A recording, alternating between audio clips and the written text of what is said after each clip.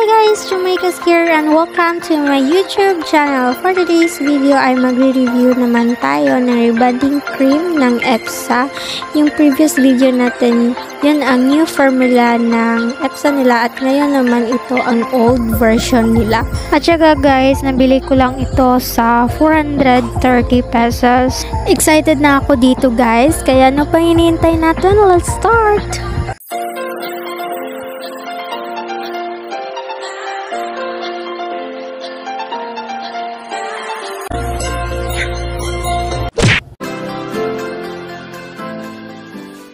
So, ito po ang buhok ng client natin. So, nakikita nyo, hindi naman siya masyadong kulot, guys. Pero, medyo buhaghag pa rin siya. Yun na nga, inaplayan ko na ng rebonding cream number 1. At ito na siya. Ibabad lang po natin siya ng 45 minutes to 1 hour. At saka wag na wag po natin kakalimutan na wag natin isagad sa anet at dapat every time i-check natin siya kung luto na po ba ang hair niya. Ayan guys, hindi ko na rin pinakita ang pag-blower at pagpa-plansya niya.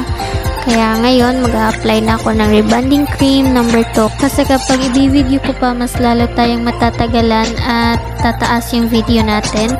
Dito guys, baka nagtataka kayo kung bakit may kulay ang rebonding cream number 2 natin instead of white lang. Uh, naglagay po ako dito ng hair cellophane. Ibabad lang po natin siya at saka kapag natapos na banlawan at blower, tsaka plansya na rin. Ito na po ang final look ng hair ng client natin at sa nakikita naman natin guys, makintab siya. At noon pa man, hindi ako binigo ng EPSA na medicine kasi ito talaga yung ginagamit ko since I start uh, service in Riban. Kaya sa mga baguhan lang po, I recommend this medicine EPSA. Ngayon, tignan naman natin ang before and after.